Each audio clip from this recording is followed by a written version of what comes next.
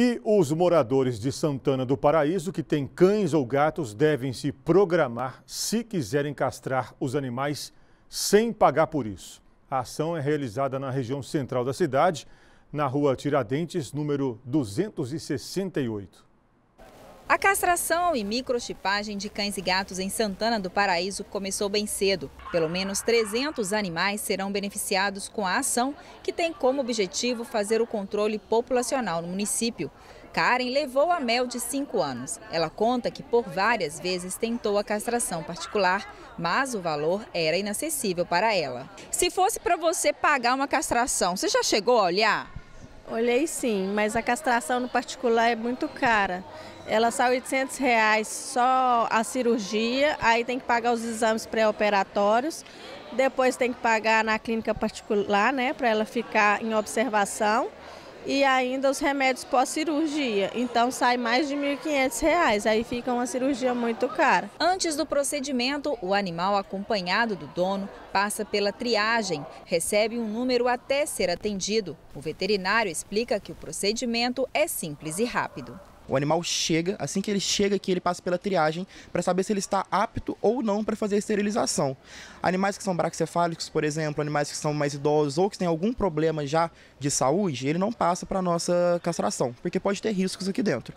Assim que ele, que ele passa pela triagem, anestesista já puxa a medicação adequada de acordo com o peso de cada animal, da associação de alguns fármacos que fazemos. O animal é, entra para o bloco cirúrgico, ali a gente tira todo o útero. Muitas pessoas acreditam que às vezes deixa ovário ou alguma parte do útero.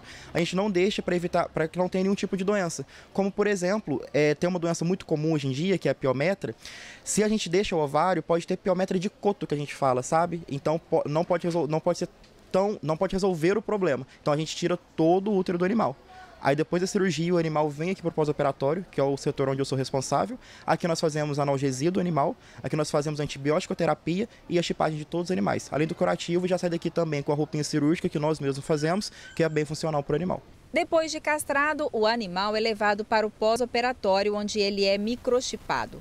O dispositivo é do tamanho de um grão de arroz e, por meio de uma seringa, ele é colocado no dorso do animal. O chip permite acesso aos dados do pet e também do dono dele. Costumo dizer que o microchip serve como uma identificação do animal. Eu falo que não tem como o animal andar com o CPF, não tem como o animal andar com o RG, como a gente. Então ele serve para identificar o animal. Cada proprietário vai receber um certificado que tem essa identificação. Esse microchip não tem nenhum tipo de rejeição, a gente introduz no subcutâneo do animal, é menor do que um grãozinho de arroz mesmo. Cada animal tem sua seringa que é descartável, então nós introduzimos um microchip no animal que vai que esse microchip tem um código, esse mesmo código código está no certificado do proprietário. Depois de todo o processo de castração e microchipagem, os animais, eles ficam aqui no pós-operatório e esperam a média de 20 minutos. A Rebeca e a Malu já foram castradas e microchipadas e só serão liberadas pelos veterinários após os primeiros reflexos. E aqui está a Malu, recebeu alta e já vai para casa com a dona Maura, que recebeu até um certificado. Ah, eu já tenho, Deus o dia que ela chegou lá em casa, eu pensei em castrar ela, mas a castração tá muito cara, né? Aí eu fiquei sabendo agora, corri atrás.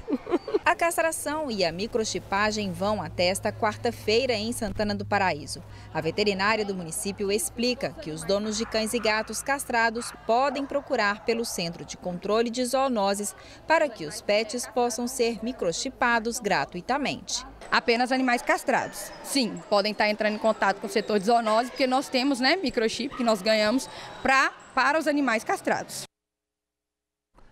Só reforçando então, a programação segue até amanhã, quarta-feira, na rua Tiradentes, número 268, na região central de Santana do Paraíso, no Vale do Aço.